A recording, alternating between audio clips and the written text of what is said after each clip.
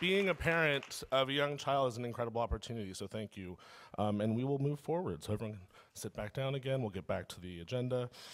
Um, but for those of you who stood and have been parents or caregivers, what hard choices have you had to make? What trade offs have you confronted when supporting your child's education and development? For my mother, it was giving up her career as a high school teacher to instead work 12 hour night shifts as an emergency room clerk so she could be home with her four young children during the day. She and my father both needed to work multiple jobs to make ends meet, and they couldn't afford childcare. So she instead gave up her career and her sleep to support her family. And as the youngest of, four of, those, of those four young children, I perhaps benefited the most from her sacrifice. Unfortunately, my mother's story is not unique. The median household income in Los Angeles County, and that's household, everyone who's earning an income in the house, is about $55,000 a year. And this year, the median rent for a one bedroom apartment in the greater LA County area is now over $2,000 a month. How do families survive? And this is not just an LA story. Um, I once lived in San Francisco. families across California are faced with heart wrenching daily decisions and I am constantly in awe of their strength, tenacity, and perseverance. But it shouldn't be this way. Families should not be forced to remain in poverty because they have children. Parents shouldn't have to choose between work and supporting their child's development. And yet, that's what our state leaders continue to choose. In California, we continue to wait to support our children until they enter the public school system or the child welfare system. Talk to any kindergarten teacher or social worker, and they know. Children who have strong support and access to quality early care and learning show up to kindergarten, ready to succeed in school, and do not show up as another caseload in the child welfare system. At First 5 LA, we are focusing our funding, our advocacy, and our work in partnership with others, many of you in this room, to address these challenges. And like all First Fives across California, we know that our state's success should be measured by the success of its children. And we know we have a long way to go. It's time for our leaders and all of us to urge our leaders to start taking the needs of our youngest learners seriously. It's time for us to start supporting the economic opportunity of working parents by ensuring all families have access to affordable and flexible childcare. And it's time for us to start acknowledging that those who care for our infants and toddlers are teaching them, not babysitting them. All parents in California deserve access to home based coaching and support when they need it so they can become the best parent, the best first teacher for their child. All parents and caregivers in California deserve to know their child is in a safe and developmentally appropriate learning environment starting at birth. Let's stop wasting our money on expensive and unnecessary remediation, incarceration, and treatment. And let's start investing early in development, prevention, and promotion. Thanks. We are fortunate today to have a panel of experts who will be exploring this further, practitioners and leaders in the field who will identify the opportunities, challenges, and needs of the field, who will help us better understand how we can build, strengthen, and promote systems which support our youngest learners.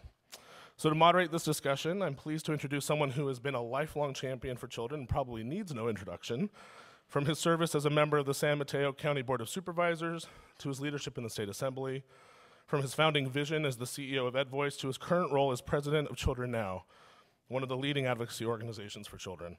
It is my pleasure to introduce my friend and colleague, Mr. Ted Lempert.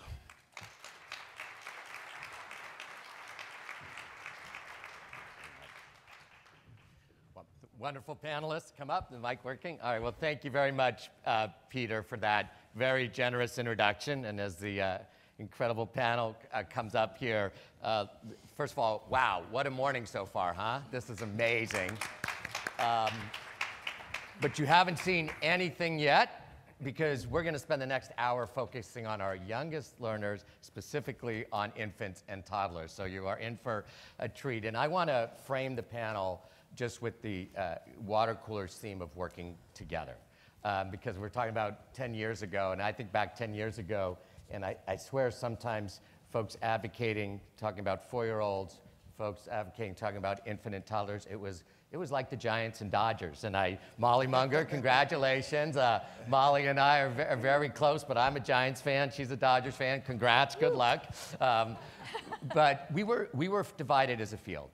Uh, today, thanks to the Advancement Project, thanks to First Five at the state level, thanks to 58 uh, county commissions at, at, throughout the state First Five, to CAPPA, the Resource Referral, to Child Care Law Center, to business leaders, to so many other statewide, local, uh, regional groups, we really are together. It's not perfect, but we have come so far as a field.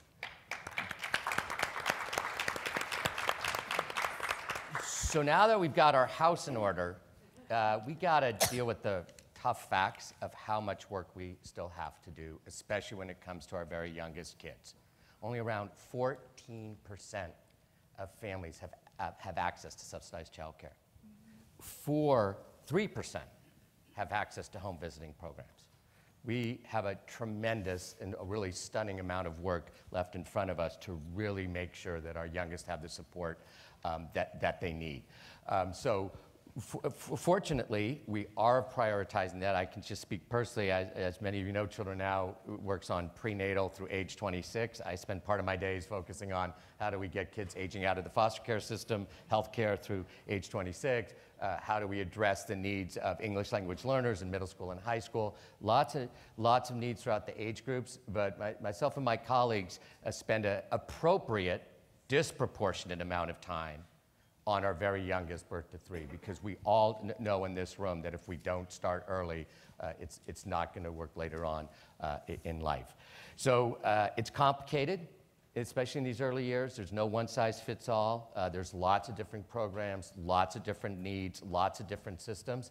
So that's why I am so excited about this panel, um, because they are experts representing a range of uh, key areas throughout the state, a range of different programs, and can share their expertise. I'm just going to say one thing before I introduce them. Uh, Children Now works with all these guys, so I'm not going to ask them really hard questions, because, you know, then they'll be mad, at me. So you have to ask the hard questions. I'll ask a couple of softballs. So think of the hard questions. There's cards going around, and, and you, we can either, uh, know, we can do it from the floor, but do uh, think of, of your questions in advance.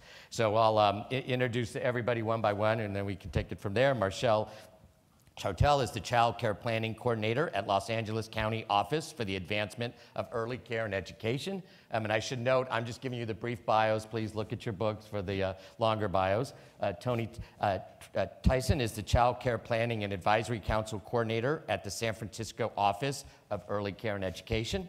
Uh, Matilda uh, Soria is the Early Care and Education Coordinator at the Office of Fresno County Superintendent of Schools.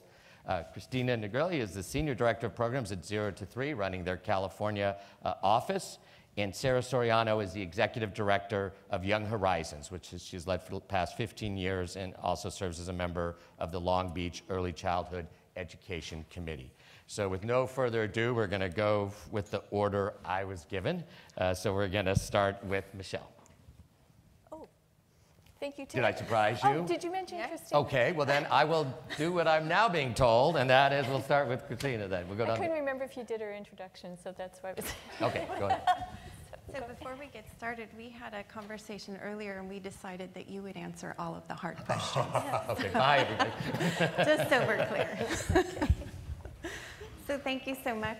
Um, It's really exciting to be up here um, sharing the platform with my esteemed colleagues and talking about something that I'm so committed and passionate about, and, um, and that's infants and toddlers. So I was asked to describe a vision of infant toddler policy across the state of California, provide an overview of our national policy work for infants and toddlers, and share a summary of Zero to Three's Think Baby campaign, and all in four minutes. So hold on, here we go.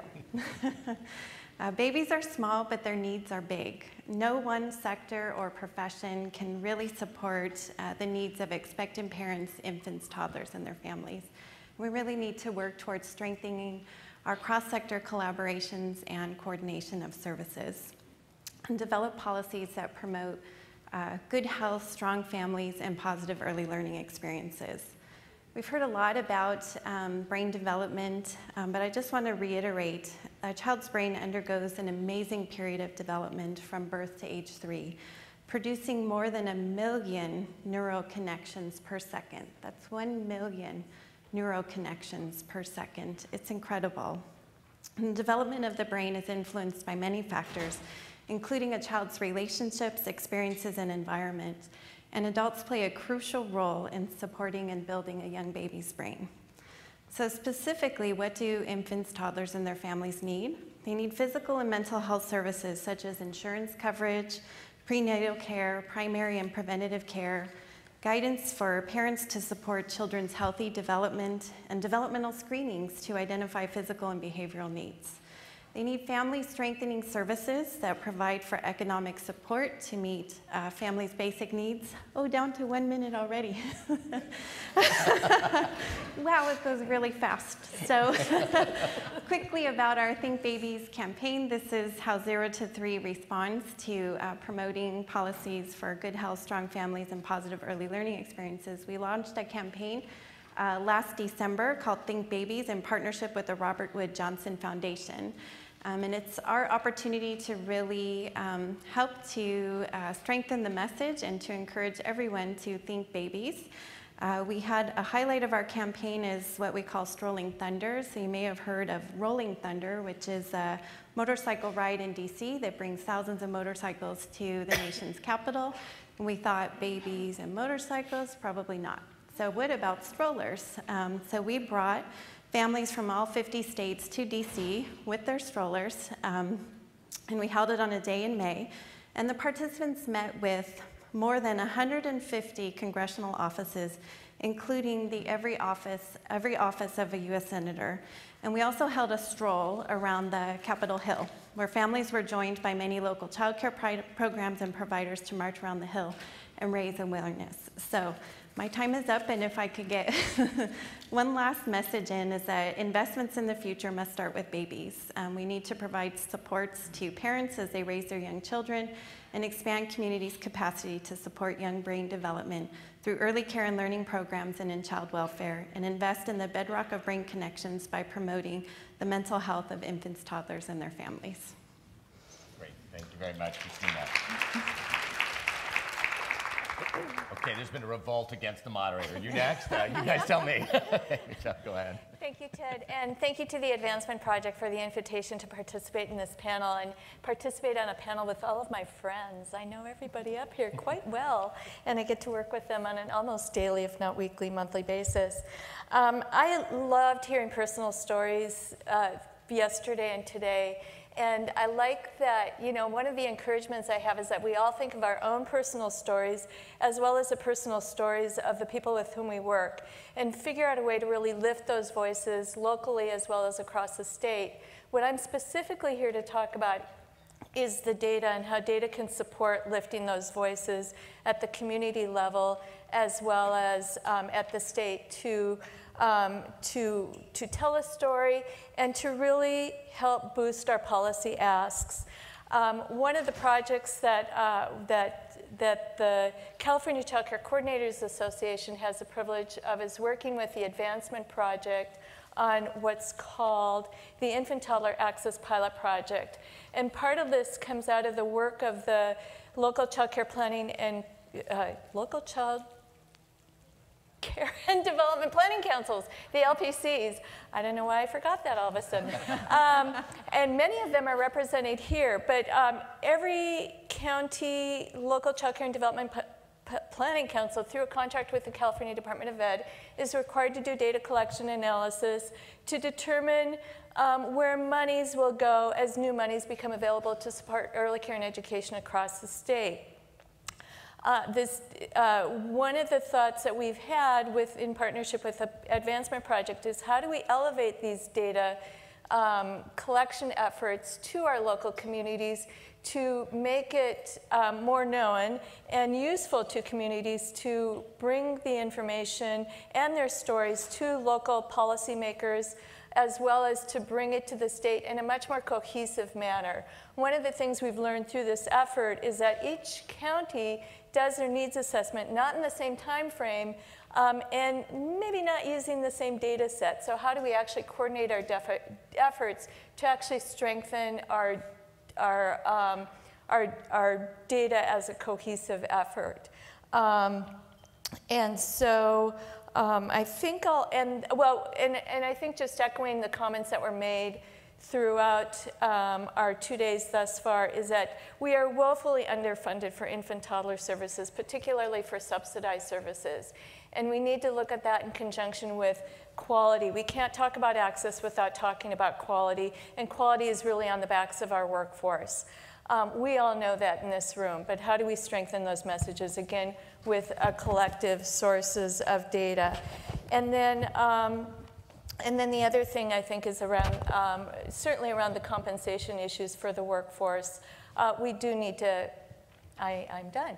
We do need to, we do need to continue to, to strengthen that message on how do we address the compensation of our workforce. Thank you. You're welcome.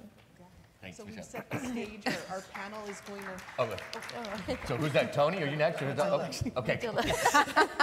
Why am I here?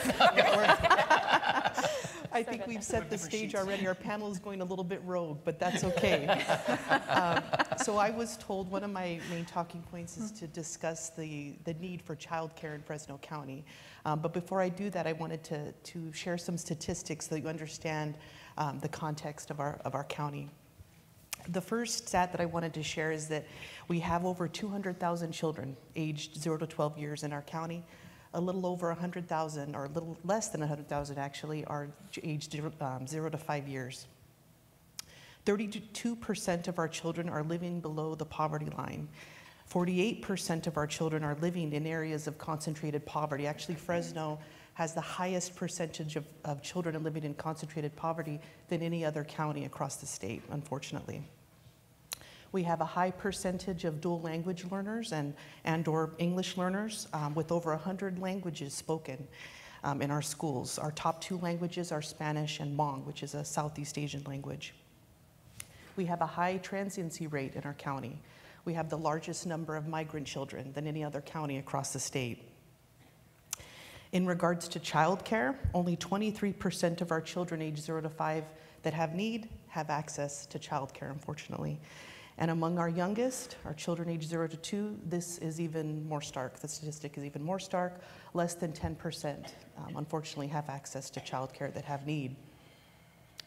According to our local resource and referral agency, Children's Services Network, we have over 4,000, close to 5,000 actually, um, I believe since of last week, children that are on the waiting list for childcare that have need uh, for childcare. So these are just, you know, some of the unfortunate um, statistics of our county. Uh, what's even more disturbing is that although we have such great need, we're giving back bunnies that have been allocated to our, to our county uh, for childcare, for subsidized childcare programs. Over the past five years, we've given back millions. Um, this past year alone, we've given back close to $10 million. This is equivalent to 1,300 kids that could have been served within our county. Um, so as it's, it's unfortunate, it's, um, it's immoral, and I'll, I'll go ahead and stop there and, and hit, kick it over to Tony. Great. All yours, Tony. Okay, thank you. Thank you. Uh, so there's some slides here. It looks like I'm going to go really fast. Uh, former Mayor Gavin Newsom gave a lot of the background and history of how ECE is funded in San Francisco and the support that we have. Uh, but we also, uh, throughout the conference, we've heard about uh, our systems being so broken and uh, the patchwork necessary to try to keep the system uh, going, as, as providing access as well as uh, supporting the workforce and having quality programs. So uh, we went through a process recently uh, within the last year where we created an early learning scholarship model, which took all of our local funding sources and put them into one bucket. Um, and you can see the different buckets on the top there. I'm going to keep going fast. Uh, but the, the piece uh, that's important is understanding what the cost is. What is the cost to provide quality? And so we did a, a study. Uh, we had outside um, professionals come in and do a uh, comprehensive fiscal analysis to determine what does it truly cost to provide quality care in the different settings. And these are the rates that were developed, looking at all aspects to get um, programs to a tier three QRS quality level. And this is what it looks like uh, for the providers and for the parents. is that um, you can see the different stacks of funds there. So your standard reimbursement rate uh, falls short by 4,000. Your, uh, your kind of your APP or your regional market rate falls short by 3,500 plus. So what we did was created this uh, level where all providers, regardless of setting, um, will receive the 20,935. This also provides uh, access ability for parents that may have been getting squeezed out of different programs because of their lack of ability to pay what the costs were. Sorry, this has lots of clicks to get through the next slide. Um, and, and what we've seen is that the quality and the investments that we've uh, put in, which is over a, around 111 million, just north of that, in our ECE system, uh, 82 million of that being towards the ELS scholarships or the subsidies that are provided, um, that we're seeing a, a, an uptick in our, in our quality. And, and our QRS ratings are um, I would say really, uh, really well, uh, looking at 73% at tier four and five, and this is uh, centers and family child care providers, and uh, only 1% right now at, at, approaching quality standards. So to be part of the early learning scholarship, part of that piece is that you have to have a quality program. So if you're not at a tier three or working towards a tier three, if you're a family child care provider, uh, that hasn't maybe had the, uh, necessarily the resources uh, or the investment that the center-based programs had, uh, that you had to commit to becoming a tier three provider uh, within the next three years to, to be eligible for, for this funding. So um, with that, I will close in saying we've heard lots of uh, scary statistics, but from a federal level, we're 30th out of 34 countries in children three and four accessing preschool and we're 30th of 31 developed countries uh, in what we spend on, on our children. Um, and as we know, we've heard lots of uh, gap analysis on California. We know we have lots of work to do. Uh, I, I, think that now is the time. I think we're ready to do that, and I hope that we look at a zero to five approach for all children in uh, California.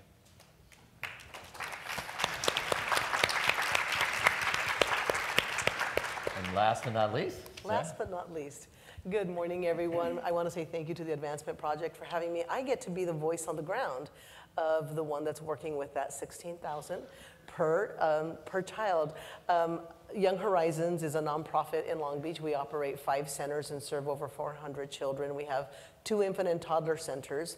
Um, and as you know, that is a very low number. So I was asked to talk about the cost, what it is for us as a provider in on the ground doing the actual work and how difficult it is. And I think I feel a little bit like I'm preaching to the choir because everything that has been said today already expresses what I was going to share is how difficult it is to cover costs. I did a really simple math analysis and sadly I used a $13 per hour number, which is very real if we had to average out our um, expenses of our staffing costs, it comes out to about $13 per hour plus about 25% for benefits. It comes out to $16 an hour, $16.25 an hour. Um, so our reimbursement for three children would equal about $189. Um, the cost for those children is a $163, so that leaves me $26 to operate the rest of my program with. And I apologize, I have a lot of allergies and it's hitting my throat now. Um, so my voice might come and go. Um, it's not that I'm sad, although I'm very sad about this. it's not for drama. Um, but with $26, then I, I pay for rent, facilities, food, um, everything that, that it costs to operate a center. Um, on average, every year we lose about $20,000 or more on our infant and toddler program. As you can imagine, you do not stay solvent very long that way. It is very, very difficult. We only operate off of a state funded contract. We don't have additional funding. So we do write grants, we have fundraisers, we do all of the extra stuff to, to fill that gap, but the funding just is not sufficient. Um, one of the huge struggles that we've continued to find in our field, and I think, again, I'm preaching to the choir, is that we don't have the qualified staff. People aren't running in droves to early childhood education to say, I want to change diapers all day, right? The ones that do come in our doors want to talk to children, want to teach. So there's a little bit of a learning gap in that as well, in that our teachers need to understand that even though they're infants and toddlers, they're learning, they're acquiring the, the, the first three most important years, as Christina was I'm talking about the most important years, uh, we've heard all day, is those first three years, zero to three, that brain development, laying that foundation. Um, but we don't have the qualified staff. And I'm sorry, but I do not attract people at $13 an hour. I really don't. Um, and the ones that leave us to go work at Target, that go work at Costco, it's heartbreaking. And it is time that we as a field do unite and make some kind of a change of a difference. How are we going to make life fair for our children, for our parents, for our teaching staff? Thank you.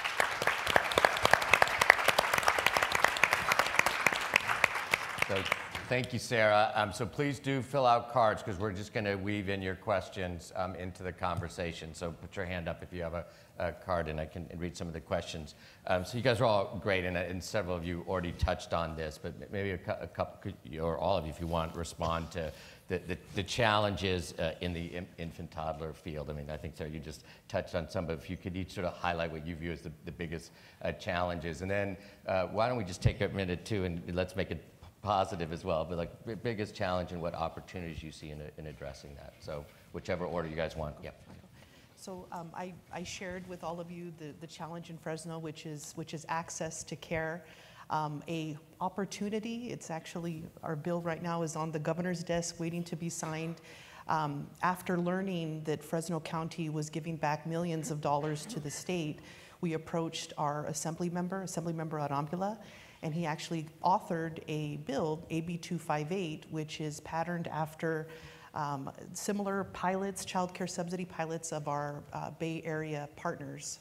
Um, and this bill has, has four main components, um, all of which is to, um, all designed to uh, modify the eligibility rules so that more of our children will be eligible for, for um, child care subsidy programs. So one component is to allow the enrollment of children at 2.9 years. Um, with the advent of TK, our California State preschool providers um, were not um, uh, able to enroll children at 2.9 years, and so if the bill is approved, we'll be able to do that. Um, the second component is the increase in stand, standard reimbursement rate as um, the others kind of contested to, the uh, amount of reimbursement is not equivalent to the cost of care, more or less the cost of uh, quality child care. And so this is something that, if approved, we'll be investigating and, and increasing. The other is the increase of the recertification period for our families. As I mentioned, we have a high transiency rate. It's a burden for our families. It's also a burden for our providers. Um, those, uh, those providers that can afford it actually do home visits to recertify families, which is quite, um, which is quite costly. The final component is to inc increase the income threshold for our families. Um, it's, it's unfortunate um, when uh, we have to turn families away that uh, can afford private pay preschool, but at this, or, or childcare rather, um, while at the same time aren't uh, qualified to, uh, for, the, for the subsidized child care program. So this is definitely, even though we have great need for child care in Fresno County, this is definitely an opportunity. And as I mentioned, it's on the governor's desk, awaiting to be signed. Um, I just received a text from our um, legislative aide that works with Assemblymember Arambula. It hasn't been signed yet, um, but we have all of our fingers and, and toes crossed that it will be. So this is a great opportunity for Fresno County. Go ahead, Christina. I, I actually, uh, Matilda touched on the standard reimbursement rate, and Sarah did as well in her comments earlier. And I certainly think that's one of our challenges: is how do we address the standard reimbursement rate and regional market rate? And I think there's a lot of conversations that are happening around the table around what are the priorities for this coming year. And um, certainly among that is addressing the reimbursement rates and maybe trying to figure out can we come up with some sort of single regional um, effort around reimbursement rates. Another challenge that we actually found in our needs assessment in LA County is a trend towards a reduction of family child care spaces in family child care homes. And we need to know more about that and why that's happening. Family child care homes typically um, pick up the gap in infant toddler services, which we don't really have covered in center-based programs, as does the license exempt.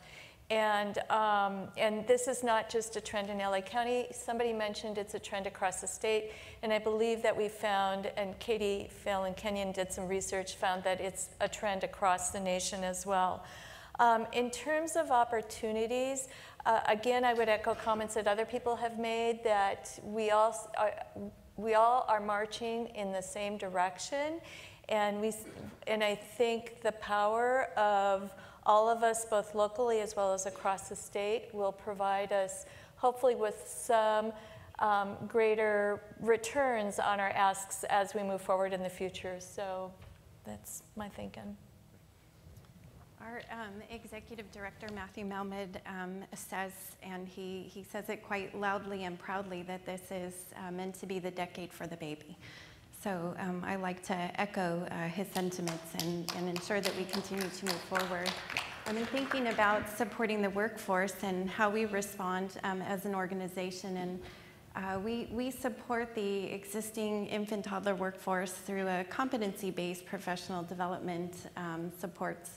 Uh, with this workforce, we continue to ask more of them um, and not often provide the resources and supports they need to accomplish those um, additional add-ons. So I think it's really important that we, as we continue to think and respond to Sarah's comments about um, how challenging it is to recruit and retain um, those individuals who want to work and support infants and toddlers, that we really think about that important role that they play and consider what other um, ways that we can continue to support them.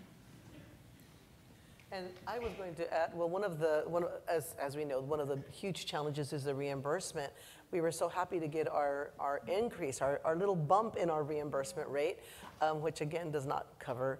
Um, but um, I, I think it's, it, it, it is something to mention as a little bit of a win, and also the 12 month eligibility because the hoops that our parents were having to jump through mm-hmm.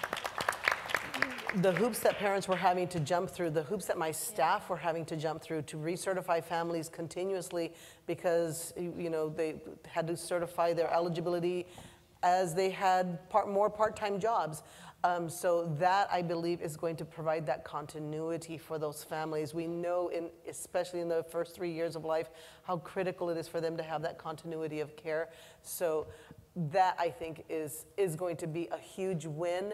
Um, but our challenges do continue to be the staffing. I think that is something that we have to, as a field, we have to address. Tony, do you want to? Um, I, I think the one thing that I would add is that even, uh, even with a well-funded uh, local system in San Francisco, we still have a huge gap in, uh, in serving all the children. Uh, 67% of our children on our central eligibility list are infants and toddlers. Uh, there is not enough spaces available, in, in, especially in center-based, and we do have to rely on our family child care homes um, to try to, uh, and, and our license exempt providers to try to pick up that slack and, and try to take the, get those children off the wait list. Uh, I think future investments need to include uh, looking at facilities. I think it's been mentioned a few times, but I, I know there's some a lot of facility advocates out there. Like let's let's get some more places uh, uh, for these children to attend, and then um, and compensate the workforce to, to do that. Great. Okay, well, so actually, uh, t- Tony, that you, you teed up the first question on the card here, and Michele, you made reference to this too, so, but whoever wants to answer. The, uh, the question states, family child care has been ignored for too long. Child care centers have been given the toddler option and family child care is not. How do we extend toddler option to family child care? Who wants to address that? Well, I can just echo what I said to start to, in my in my brief presentation was that if we have a, a reimbursement rate that is standard across, then it allows for families to choose those family child care options that they may want to do that uh, that they didn't have an option before, or uh, perhaps the family child care provider um, with the with the re- regional market rate. Um, voucher was, was unable to take them uh, to stay in business. So I think that that's one local, uh, one strategy to, to do that is um, to pay fair rates to our family childcare providers. Um, Others? I'll just, I want to um, lift up the phrase that Sarah mentioned um, in her panel presentation, cooperative play. I think those of us in the field need to cooperate. We need to practice, effectively practice cooperative play amongst each other because I know in Fresno County, and this is the trend across the state, our families have diverse needs. We need a mixed delivery model. We need centers. We need family child care homes. We need family friendly, um, excuse me, family friend neighbor care.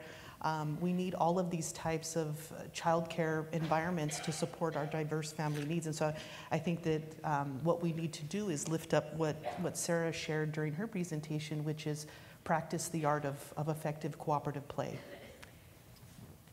I was going to add, you know, this is something we talked about in LA County, is we really need to have conversations with family childcare providers. We need to talk with them about what are the issues that they are facing, what, is, what are the challenges that they face on a day-to-day basis in terms of serving the children that are coming into their homes. Um, and some of that may have to do with the day-to-day services, some of it may have to do with business practices, and certainly a big part of that is the reimbursement rate.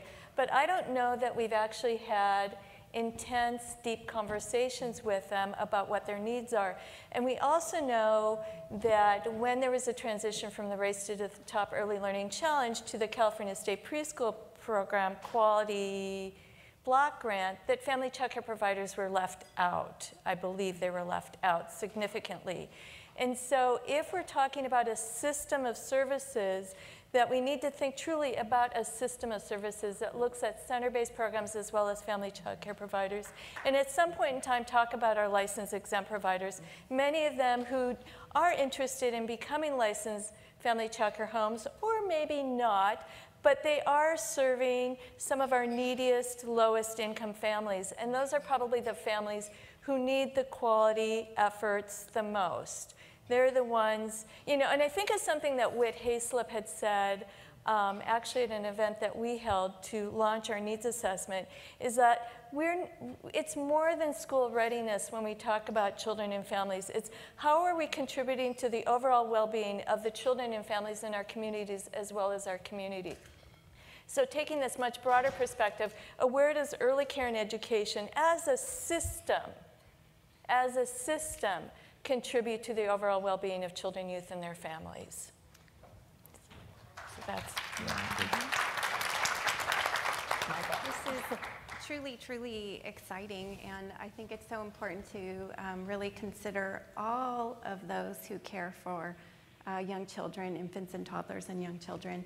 Um, we recently um, held some focus groups to learn from grandparents who are providing uh, care to their grandchildren to learn from them, and they need to be included. And we really need to think about all of the environments and ensure that they're promoting those uh, positive early learning experiences and connecting those alternative care providers to all of these other exciting opportunities that those programs would have access to. So we can be inclusive of all, all children and all families.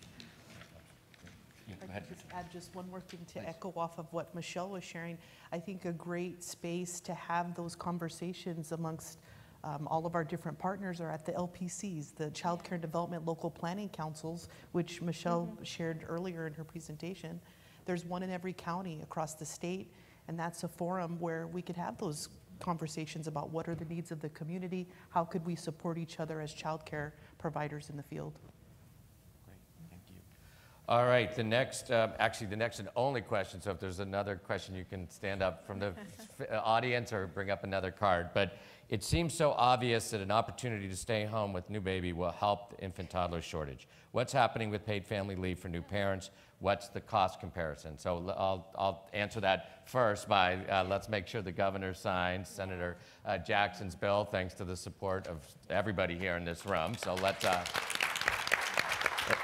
Let, us all say that really loud and surround his office this afternoon. But uh, quite frankly, that's, that's really just a, a, a first step, given the comparisons we heard this morning about what other countries do. So your, your thoughts on paid family leave and, and how it interacts with the programs and systems you're all involved with? Wow. You don't all have to answer, but at least one of you do.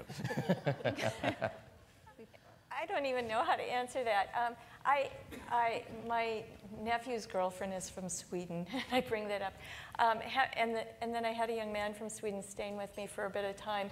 And they were both incredibly shocked at our lack of support for families with infants and toddlers.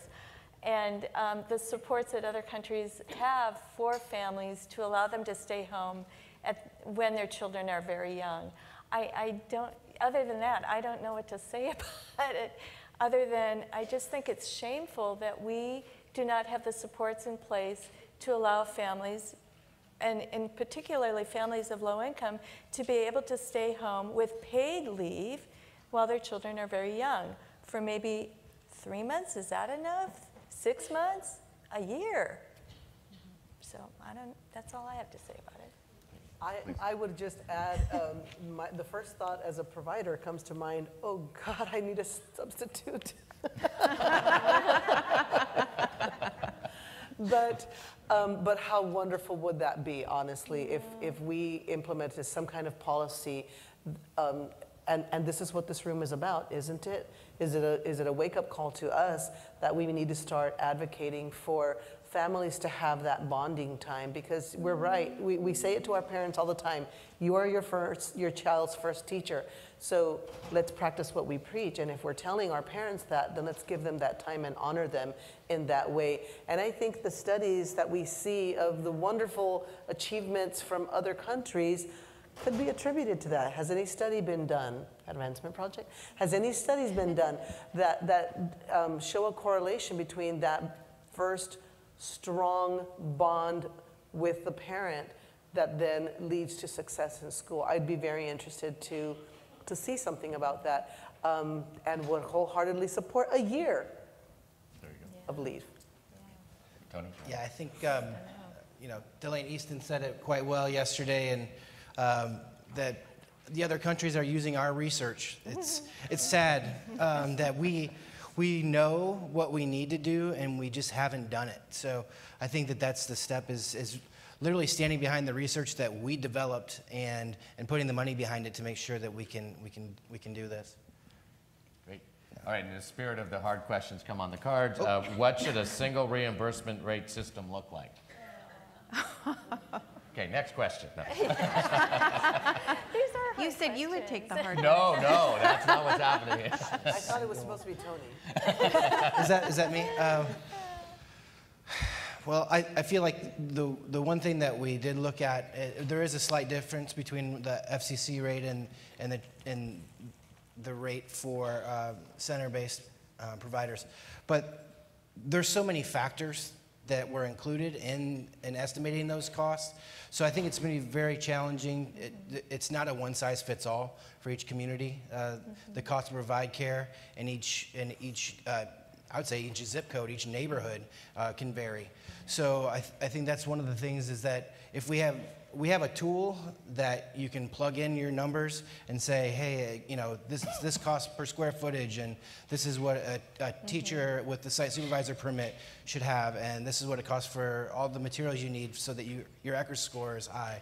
I mean, all of those little factors are included in into the number that we came up with for San Francisco. So I think if, if that's something that could be replicated and shared with other communities to, to do that, I think that might be a first step. But um, other than that, I, I, it's, not, it's not a one size fits all just because it's such a different uh, environment everywhere you go across the state. And I think that we know that as local planning councils, we see that as we talk to each other of what's going on in our, in our, local, in our local communities. Great. Anybody else on that one? Okay, um, we, I think we might just have time for this last question, but hopefully you'll each get a chance to, uh, to comment. Um, we have heard that we must prioritize infants and toddlers. What should we be doing to assure that our elected officials invest in affordable infant and toddler spaces? So we can, uh, whoever wants to start, but maybe each of you can get a chance to just make a quick closing comment as well. I think we can use um, opportunities such as the, the Think Babies campaigns and the other campaigns to help elevate the needs, the, the variety of needs that infants, toddlers, and their families have, which go well beyond childcare. And I think we need to continue to reiterate those important messages, and, um, and it, it- we can't stop now. And I think um, continuing to strengthen our unified voices um, and to go collectively. We've done a really great job at articulating the early years, but I think now it's time to really work on elevating the specific needs of infants, toddlers, and their families, and to use that similar excuse me, process of, of what we just accomplished and uh, bringing everyone together to collaborate and to create that unified voice. Michele? Um, It was really wonderful hearing, I think most of the gubernatorial candidates mention the brain science um, and mention the importance of the early years. I think we need to keep bringing those messages to them and pairing it with the data on the numbers of children who have or don't have access to infant toddler services and what those services look like. What does the quality of infant toddler services look like? Again, when we talk about access, are we just talking about numbers, putting children in seats or cribs or bassinets? Are we talking about putting, providing children, very young children, infants and toddlers, with high quality experiences, whether they're in a center based program, a family childcare home, or even with a license exempt provider? Not to minimize, that's an important place for children to be. And parents make choices about where their children are going to be. I think the other piece is how do we engage, and I know there's going to be a panel on this later on, but how are we engaging the families, how are we engaging the people in our communities to bring their messages to the table as to what do they need for their families when they have infants and toddlers that they're trying, for which they're trying to find services.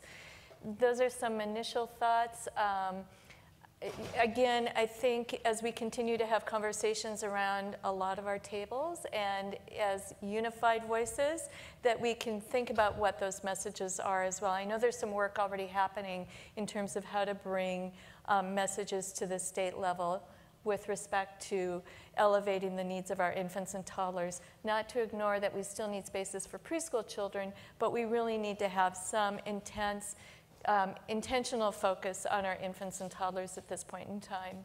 Thank you. We could just do 30 seconds each for each Okay. last three of you so we can wrap up in time. That's quick. Um, I, I would have to say, you know, we, we need to look at what the costs are to provide it. I think that's one of the biggest barriers that, that's causing folks to not be able to serve infants and toddlers. And though we've had some, uh, some gains and some, some wins over the last year, and mostly in the preschool arena as far as increases to standard reimbursement rates, we haven't seen the investments in zero to three from the state level. So I think that there hasn't been the, the investments uh, that we've seen in the gains. So I think that's the first step is uh, to invest more and uh, start paying to the, to the cost to provide quality care. Try to keep it short and succinct. I agree with all of my fellow panelists. Everything that they shared, I agree with.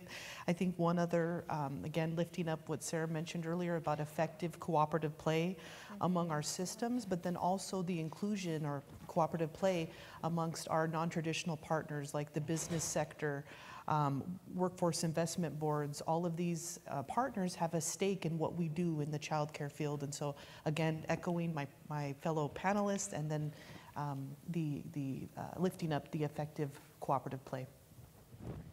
And I want to borrow from our friends in the investment world.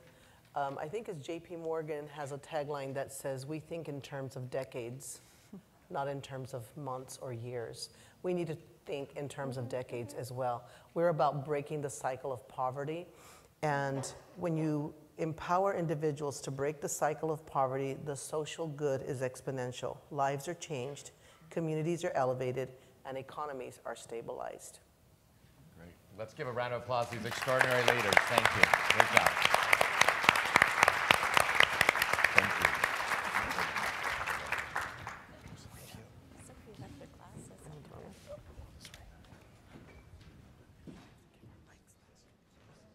much to the panel. And thank you, Ted, for facilitating. They went rogue, but you hung right in there. Good job. Good job. So uh, it's my pleasure now uh, to introduce. So I know Peter Barth had you all stand up. That was great, but just take another big, deep breath. This is all great information, and all of your comments will help with our one voice in this next session and in what we do going forward. So hang in there for one more panel, which is going to be a great one. It's my pleasure to introduce Ernesto Saldaña, who is the Associate Director of Educational Equity, focused on education programs at the Advancement Project California. He oversees the organization's first effort in leadership and advocacy in community, community mobilization and advocacy for parents with children from birth to age eight, and supporting the team's education policy and advocacy. He is a busy dad of a toddler, and he is an all around good guy who works hard on behalf of young children and families. It's my pleasure to bring him up here to really talk about the community voice in policy initiatives. Ernesto. Thanks, Camille. Give him a big hand. Thank you. Ah. It's bright up here. Ooh. How's everybody doing? Excellent. So, thank you, Camille. Hello, everybody. You saw me running around all over the place. Who's that guy running around all over the place for, right? So, um, it's my honor to be able to um, facilitate our conversation with our distinguished guest. Um, I'll be introducing him in a little bit, but he's just an amazing gentleman who I've met through some work in Southeast Los Angeles, and he's from my hometown, my birth town of Santa Ana, Santa Ana, in Orange County. So he's doing incredible, transformative work, and um, so we'll be talking about community voice during this next 25 to 24 minutes, and community voice, community engagement. In the context for this conversation, I just want to set the context that um, for this conversation, obviously with community, we can mean different, different, different groups, right? For this tone of this conversation, we'll be talking about families and parents, just to set the context, okay? Um, so part of the thing that's really critical for me as engage in this work is thinking about values, right? Values that anchor me as a Latino, as a Chicano, um, working with communities of color, oftentimes low-income communities of color, to have a voice, to have space um, how pivotal that is, especially during these, these times that we're in currently, right? So I had the privilege of coming to, to Advancement Project California um, about two and a half years ago to support a program called My First Teacher with my colleague Jasenia Reyes, who you've also seen running around, who's an amazing colleague back over there, um, where we worked with the parents in Southeast Los Angeles um, to support them to continue building their leadership skills, to be the advocates for their children's early child education. Um, so that was the work we did. So um, I'm going to share a little bit about some research findings that we had from the program. We, we had a, um, a professor by the name of Dr. Corina Benavides Lopez who did a research paper. She also happens to be my partner. Um, she did a research paper on the program where she brought focus groups together of parents who participated in the program to find out what are some of the things we learned, what did we miss up on, what did we get right, right?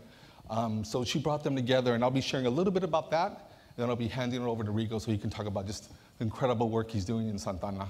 Um, get your pens out for him because he has some incredible strategies. Uh, we were talking last night, just having the conversation of the different strategies, the innovation that he's going to be sharing, sharing with you. Please have your notepads and pens ready. Um, I'm a little bummed because we won't have time for Q&A because I think there would be a great spark conversation around it. So to preface, just to go back to preface to this, this uh, research brief that you will find on the table, it's on the paper, it's on the table. It's, it's not a very fancy document. It's a, a six-page document, quick read, that summarizes the My First Teacher program. And some of the key findings that uh, Professora Corina Benavides Lopez found was, you know, first let me preface this, I'm sorry, let me preface this. As we're talking about community engagement in the work that we do, the importance is that we see that low-income communities of color oftentimes carry the hardest, the, the, the biggest burden of misaligned, misinformed policy, right? Um, they're faced with policy struggles all the time. They hit the walls all the time because of the limitations of what we put together as policy. In addition to that, they're not, they're not really included ever in the policy creation process. Maybe give, give, us, give us your input at, that, input at that hearing, right? Let's have your hearing input but not in the sense of a, a, a conversation to really understand policy and how it may be missing um, for communities. And in addition, communities of low-income um, communities and communities of color are often seen in a deficit light, always seen what's wrong, what's missing, what are they doing wrong all the time, right? And so, oftentimes in, in need of some kind of saving, which um, is tough, right? So, um, our goal with the My First Teacher program was to shift that paradigm, to shift the paradigm from being from, from this deficit lens to this asset lens, to look at community for the power they have and they bring into space. That community is, is buttressing against policy limitations all the time. They are experts on policy and efficiency all the time. So to tap into that expertise, to channel it would be such a critical opportunity. And what we wanted to do with the My First Teacher program is we said, Justine and I said, let's, let's, shift it. We're not going to come to the parents and tell them what they don't know, what, what they should know better about. We're going to shift the paradigm, and parents were the center of the pedagogy. They weren't the ancillary, they were the center of the pedagogy in the program. So some of the findings we had in the research brief that you could pick up in the back resource table is strength-based program curriculum, where, where parents are the center of the pedagogy, and their lived experiences with a critical piece of knowledge really promoted this, this uh, connection to education policy and advocacy for parents. That using a popular education model was critical because pa parents, we saw them entering the space, not like, oh, what am I gonna, ay, pobrecito padre, ¿cómo te voy a ayudar? Poor parent, what am I, how am I gonna help you? No, that they come in capable. So that was really critical in the work that we did. Storytelling, as you all know, is beautiful and it's incredible and it's transformative. So we knew we needed to bring in the power of storytelling. And that's what we did. And we saw storytelling being multiple um, key pieces. One key piece was a way to resist oppression. And finally, we use the L word in our program work love.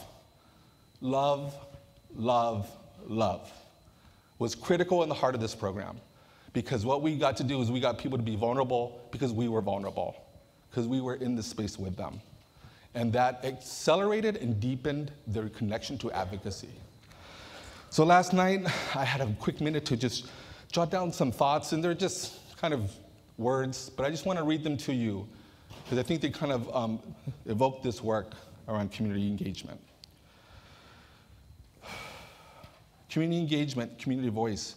What does it need to grow? ¿Qué necesita para crecer? Community voice is like a person. It's like any authentic relationship. It needs space. It needs presence. Se necesita comunicación. It needs to be understood. It needs to be seen. It needs to be fed by true partnership. It needs love. Se necesita amor. Advocacy is one of the truest acts of love that I know. We advocate for those we love and care for.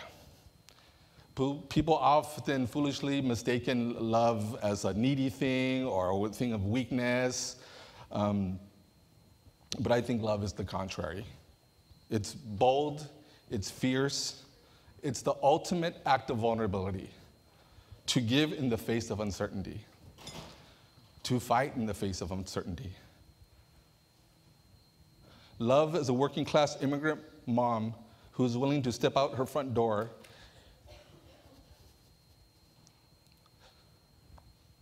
despite being under the real traumatic threat of deportation, a deportation that would end her life as she knows it, but she still walks into that uncertainty through that front door to take her child to a preschool program. Love is brave in the face of adversity. Love is community. So with that, I want to introduce uh, a warrior of, I, I, would say, love. Um, Rigo, we share an incredible tie to a city that has taught, I'm sure, both of us how to love and, and give love. Um, Dr. Rigo Rodriguez um, is the governing board member for Santa Ana Unified School District, who so is needed on that school board to do some amazing work. He's driven by a deep passion and love for improving early learning outcomes in the seventh largest school district in the state of California, Santa Ana Unified. He's an associate professor of Latina, Latino public policy in the Department of Chicana, Chicano, and Latina, Latino Studies at Cal State University Long Beach, and a nationally recognized speaker, uh, expert in community planning, action research, and, and grassroots leadership development. So break out those notepads and pens Rigo. Take it away, sir. Wow. Thank you. Um, is the microphone working? Yes? Okay. And how does this work? Just You just click it. slides- Where do I click on the green button? Let's see. There you go. Okay. Right on. So first, I want to thank um, Ernesto and the Advancement, Advancement Project for inviting me uh, here today. I specifically want to thank uh, Ernesto for the kind words and also the, the language of love that he started this panel with. Uh, it really does touch me and it resonates with the stories that I hear in our community. Um, and I think programs like My First Teacher uh, work, and I think we all know that, right? We all know that these programs work. And so when I was invited to uh, share my reflections on uh, engaging community voices for policy and systems change to achieve and improve early learning outcomes, um, of course I thought that um, my first thought was let's talk about parents and engaging parents, right? And the question that came to mind was this one, right? How do we support parents with young children to advocate for systems and policy changes, right? And then the, the, um, as I started reflecting on my experience in Santa Ana, a different question came to mind, which was how do we, as organizational leaders, embrace uh, systems and policy changes, right?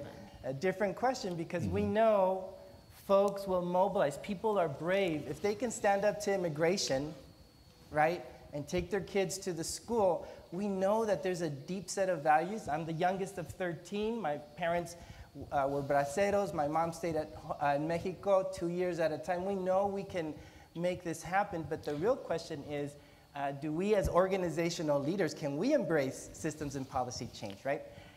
How many of you here oppose parent voices and parent input? Raise your, raise your hand. Right? It's not that we oppose parent input. I think what we resist are the systems and policy changes that uh, follow from hearing their voices. Does that make sense? Yeah. Yes or no? Yes, right? And so, um, uh, and again, opposition and resistance are two different things. Opposition will tell you no. What you said as parents, we can't do. That's opposition, right? Resistance is, yeah, that's a great thought. Smiling, right? right? But in the back of my mind, ain't gonna happen. I got five issues, you're number six, right? That's resistance, right? And so the hunch that I had, or that we had, is you know, can we create a space where organizational leaders can come together and um, embrace policy and system change? Because the hunch that we have is that if we do, then it'll be much easier for us to not just hear and honor the voices, but do something with it, right? So, what I want, does that make sense, folks? That's our hypothesis, speaking as an academic, right? Um, and so, what I'm going to tell you the story of is the Santa Ana Early Learning Initiative and the six steps that we took to really release uh, this energy amongst policy and systems leaders around embracing policy and systems change. And the uh, SAILI, as we call it, Santa Ana Early Learning Initiative, uh, our purpose is to improve early learning outcomes uh, for all children prenatal to nine in Santa Ana. Santa Ana is the um, it's about 350,000 folks that live there. It's uh, probably the youngest city in the United States, uh, fourth most densely populated city in the United States. You know, New York, uh, San Francisco, Boston, and then Santa Ana. Most overcrowded city in the country, right? In terms of the number of people per housing unit. Density is the number of people per uh, square mile. I'm an urban planner, but I'm also the youngest of 13 having to live in those homes. You know, two bedrooms, an extended family of 20, and one restroom. That's when you really learn about systems and policies, right? Like who gets to use the restroom at what time, et cetera, right? Who gets to sleep in this bed and all that. That's right. Um, and so it's a tall order. Imagine having to really improve early learning outcomes for all children. So that's what we set up for ourselves. Step one find organizational leaders with an itch to scratch. And what that means is not just uh, those of us that want to talk about something that's really important to us, but take action, this balance between learning and action. So we needed to find people that um, really had a, a, passion and a commitment that we weren't going to try to convince, right? Mm-hmm. Who were those? Three lonely organizations. Mm-hmm. Uh, Delhi Center, I'm a board president for that. the Orange County Labor Federation, interestingly enough, they have 96 unions, and many of them work in the low wage sector with young families who were, um, you know, some of their members were being dismissed because they couldn't find care for their toddler that had gotten sick and now they were being reprimanded. So, childcare, that was a key issue for them. With the Sol Science and Arts Academy, they have a preschool, and they were finding that more families were coming in, uh, young families with the need for for housing, et cetera. So my kids go to that school, so uh, it's, it was basically three of us, three organizations that said, we got to do something about it with families with young children. So that's how it started. And we committed to meeting on a monthly basis. We were able to get uh, a grant from the Children and Families Commission for us to sit down and get some technical assistance because we knew we didn't know much, but we were committed mm-hmm. to, we had an itch to scratch, right? And so they provided us with lots of information and a lot of technical assistance. And so uh, step two that we took was we swam in the data. We ask tough but very stupid uh, questions. And what do I mean by that? And that is that, playfully speaking, uh, stupid questions is when you hit the limit of your knowledge. Mm-hmm. Yes or no? Mm-hmm. And then we feel so uncomfortable, like mm. asking that question that we never ask it. But when you're mm. talking to three groups or three people that trust each other, it's when you hit those stupid questions, mm-hmm. again in a playful way, mm-hmm. that you begin to open up the possibility of, first of all, embracing the unknown that I can't know everything. Mm. So I need to ask these questions. So we started looking at the Early Development Index that has five developmental domains. I can speak intelligently now about it, but at that time, like, what does basic literacy mean, right? and, and so they gave us all this information. Here is Santa Ana. Mm. And as you can see, all the red is that we're at the lowest percent quintile of the county. Uh, in terms of basic literacy, we looked at the Family Financial Stability Index. We mapped it out. It looked very much the same. Mm-hmm. We looked at ready and basic numeracy. Same, same, same, same, right? Mm-hmm. So we swam in the data. We had as much fun as we could stand. And we said, uh, we got to start doing something, right? So what we mm. did was uh, we owned it, we don't moan it, right? Mm-hmm. We know the outcomes were low, but we owned it, don't moan it. That was our, um, our slogan, mm-hmm. and we mm-hmm. decided to focus on the future. What does that mean? We took those low level of whatever we were at in every one of those indicators, and we turned it into a baseline. We said, okay, we own it, don't moan it, it is what it is. We're at 67% for basic literacy. The question is, where do we want to be? And that's when we start setting up our goals. We looked at what the county average was, and we said we need to meet and exceed the county average in the next five years in this city, right?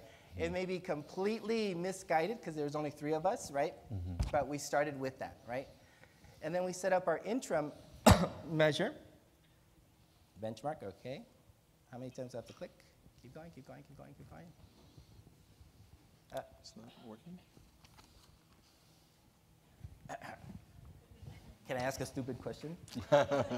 What's going on? I think they're working on that. Oh, here it is. There Yay. we go. Yeah, yeah okay. Yeah. So after um, uh, doing that part, it was really important because it really released our energy, right? Instead of uh, hitting ourselves over the head, uh, we started to ask ourselves, well, how can we get there, mm. right?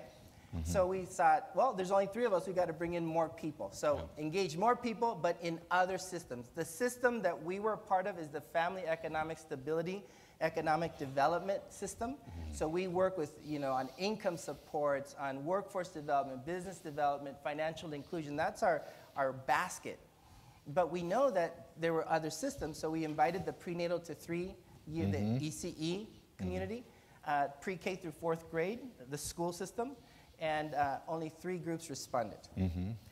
But we didn't focus on who didn't show up. We focused on who did. Sure and it was the prenatal to three year old that showed up. And so we spent the time doing the same thing, swam in data, and, and in the end, we identified uh, a five, five year goals using five metrics.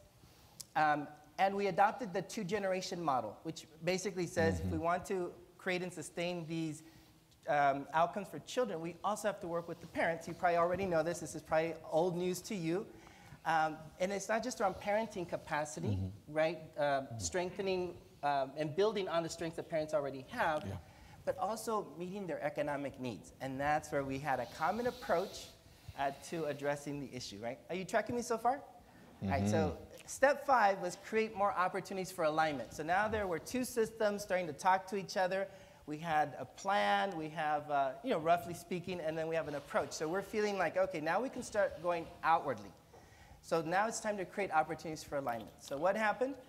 From January uh, 2016 all the way to December uh, uh, 2016, we had been meeting. And in November, I got elected. Total Right surprise. But when I got elected, I already had friends uh, from this trusted group. Uh, and then what happened uh, beginning in January is the district prioritized early learning. How? All right, this is where not working. But uh, a couple of things. One is that the early learning agenda became the top three priority, number one of three. It included early learning, not just defined as early literacy, but also math and social emotional skills. How, do, how did we include that? Because that was in this other group, right? Uh, we also embedded it in the superintendent's evaluation for that year. So you know the message started trickling down. And we also requested that within six months, the district have an early learning framework that shows their commitment and how they're going to approach and align. And then they developed an English, uh, early learning internal task force. And then we as a board also uh, provided uh, $3 million from the LCAP to be able to fund whatever strategies emerge, which we haven't defined yet, but there's a pot of money for that year for 3 million to really catalyze that work, right? Quickly, this is the framework that they created. I want to point your attention to uh, the, your top left-hand corner. Do you see two-generation model up there? Mm-hmm. And right above that, prenatal to eight, that's the result of this alignment work. Never before had they thought about early learning prenatal. So this is prenatal to 8 mm-hmm. two-generation approach. And as you can see, at the center is not the school system that asks, how are parents going to support us? Mm-hmm. At the center of it are the children and the families. That middle circle uh, basically means uh, all those things that are happening in families and communities, right? And that, um, that uh, uh, gray uh, circle uh, that embraces that, that's how the school district can support. We call this the, the pizza, uh, right? Um, I just want you to know that if you look at the red and the yellow, green on the right-hand side, that's what the school district does really well. I mean, at least tries to do uh, TK through uh, third core instruction, numeracy, and literacy, if you see that. The other three slices of the pizza, social emotional learning is new for them in terms of prenatal to eight. Early childhood education, that's a new slice of the pizza that they have now said we need to align with. And then parent engagement, restructuring parent engagement to begin with pre K uh, through third grade, right? So that's an example of how, uh, by bringing folks together, we've been able to create stronger alignment across these systems. Finally, step six is taking action and learn by doing. So we didn't want to stop here. Um, the hardest thing uh, with planning is we come up with a beautiful plan, and then what we do with it? We shelve it, right? We wanted to pivot towards action. So our pivot, uh, our pivoting strategy was a scale-up strategy. We didn't have the ability to go uh, district-wide it wasn't just a matter of resources. We didn't have a coherent structure, a process, or a model. So uh, we identified three neighborhoods. Those are the three neighborhoods that are in uh, squares. Um, we now have 50 plus organizational leaders at the table. Uh, early care and education has about 10 to 15. Family economic success, we have like 20 folks there, credit unions and others ready to do the work. And then importantly, we've got nine elementary school principals at the table, plus their you know, core folks. And all we're doing is trying to make sure that we're ready to, to implement this. We have a grant for the next 12 months to literally test out different activities, right, um, around alignment. Um, and we also have identified 200 plus parent leaders uh, in each of those schools, PTOs, as you know, school site councils, English language advisory committees, clubs, et cetera, faith-based agencies, et cetera. We chose the neighborhood model because it allows us to have the prenatal to eight plus integrating services and systems. Finally, uh, just to kind of put it all together, that's the, that's the model that we use. Uh, I won't go through it all again, I'll just end with this. Whenever um, uh, systems leaders and organizational leaders are asked to take on a, a, a major task, I think you've heard this expression. It's like herding cats. You've heard that? Right? Uh, Presumably, that's the hardest thing to do herd cats because each one is so independently minded and all that stuff. I think what we've learned from this is that it's not so hard to herd cats if you put out a milk bowl. right? If you put out a milk bowl, those cats will come. Nice. And for us, that's been the milk bowl. It's creating an opportunity for people who have commitment, people who are interested to align, et cetera, to really come together, learn from each other, mm-hmm. trust each other. Mm-hmm. And I think in that way, we have uh, been able to prepare our systems leaders and organizational leaders, myself included, to embrace systems change. And as you can see, those 200 parents that, that we've identified, we're waiting for them to come in, right? Um, and, and get involved. So uh, that's the story that I wanted to share with you, and I'd um, uh, be happy to talk to anybody outside this uh, you know, session about the details of each one of those steps. So thank you for listening.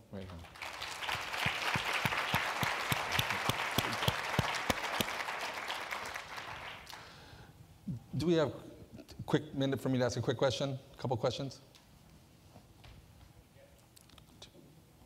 Got it.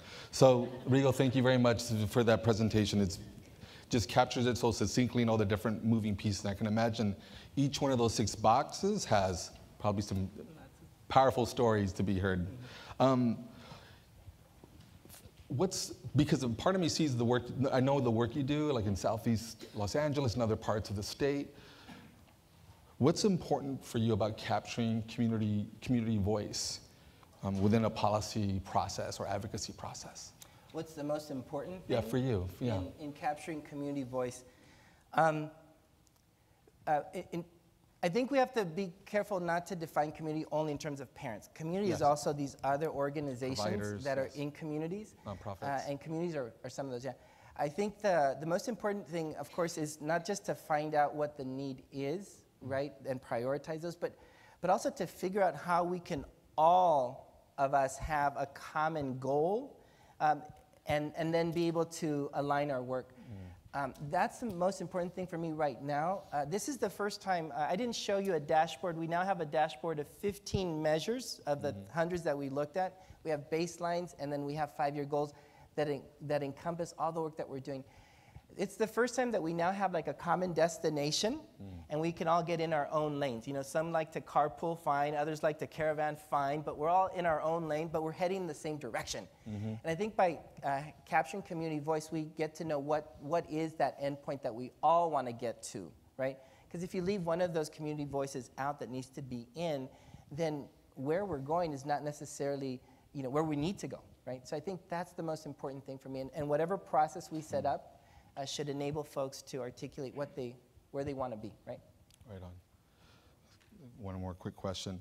You were talking about, I remember we were talking leading up to this conversation, and you said a really powerful statement. You said, you realize the district system needed to be more ready. It wasn't ready to make, fa- to make families and kids ready for the system. I thought it was a really powerful comment.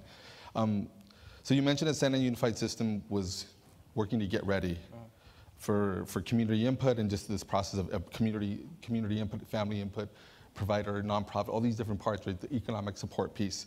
Um, what, what, is, what are you seeing as you're kind of working to build the system to be ready? What are some of the key um, pieces that you are excited about um, as you've been working through to get the system? Is it more ready? Is it, is it, where is it in the sense of making I it more think ready the- to, the- to the receive most- community? Yeah, Uh-huh. no, the most important thing is the willingness of systems leaders to really Ah. Tackle and, and address and, and change systems and that's the, Mm-hmm. it's, it's that collective will, that willingness. Mm. And so, for example, um, when we were in asking the uh, ECE group, like, what do you need Mm-hmm. when we get into these neighborhoods? They said, we need an infographic that basically just helps in popular education terms. We can give to parents so parents know how to navigate. We need to engage the dads right? Because uh, brain science says that stimulate certain parts of the brain. I'm like, I don't understand, but I, I get it, right? Uh, we need to create pipelines for the um, uh, workers, right? The childcare providers. So on the family economic support side, we're, we're linked to the Workforce Investment Act. And we're saying, okay, well then let's start advocating for occupational, for new occupations or trainings and resources. Um, and, and let's, um, on the, um, uh, th- then one of the principals said, hey, like three fourths of my kids go to uh, Dr. Gonzalez down the street. I've never spoken to him, but I know that he's, he you know, treats three fourths of our family, so let's get connected too, right? So in those neighborhoods, I think we have new ways to start collaborating, but also modifying our systems and processes. And I'll say one last thing, Go for it. Go for it. In that neighborhood, the, oh, if I could show you that, in one of those neighborhoods, In, in Santa Ana, the largest ethnic group of Mexicans, because not all Mexicans are not the same, right? They're Michoacanos, people from Michoacan, right? Yeah, and if you've ever been to. Michoacan, paleterias, the, the, they have the best ice creams uh, on. ever. So there's an industry of paleteras, paleterias of La Michoacana, right, in, Yeah. in Santa Ana. And so over the weekend, I showed up to La Paleteria, and there's this lady with a, a toddler, and she's going through the paletas. Esta es de guanábana, esta es de mamey, esta es de chongos, right? In Spanish, eh, using language that's, that's she's an expert on, so it Yeah. speaks to what you were saying. And I was thinking, this person either went through my first teacher or it's natural or whatever is happening.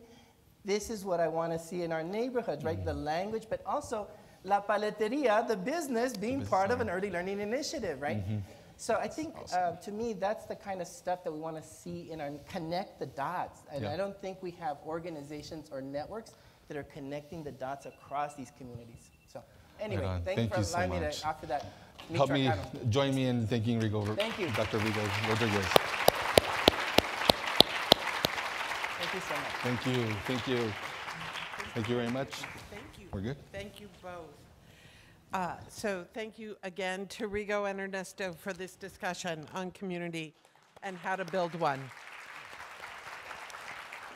Excellent, excellent. The other thank you I would just like to say to Rigo is thank you for, for putting yourself out there to be elected to a school board. We've had several up here.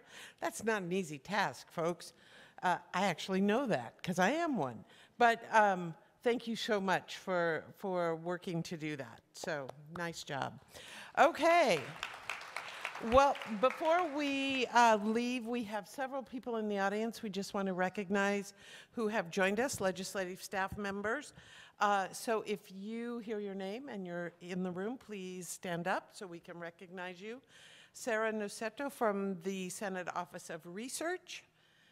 Amelia Zamani from Assembly Member Nazarian's office. Adina Garcia from Assembly Member Caballero's office. Debbie Look, I saw her earlier, from Assembly Education Committee. And finally, Stacy Reardon, a special assistant to the speaker. Are you all here? Could you stand up again? Yay, give them a hand. Thank you for being part of our conversation. So, uh, we have a little moving to do. That's a good thing. First of all, I want to thank you all for being so present and here this morning, for sharing with us all this great information. But we have an exciting uh, luncheon keynote. Uh, Sonia Manzano, who is best known for her role as Maria on Sesame Street. Can I just tell you how excited I am that she's here? that she doesn't know the hours that I've spent with her many years ago, which I have. Uh, uh, she is an incredible leader with an inspiring story that I know you will all want to hear. So, but here's how we have to do this, folks. We have to get up and we have to take our stuff and leave the room for about 15 minutes so folks can come in and set up for lunch and the hotel can get ready. So we'll close the doors. You'll be out there, so you have room to check your e- or time to check your email, get on the phone, take a stretch. Um, so again, thanks so much for this morning, and we'll see you back in here in about 15 minutes. Thank you.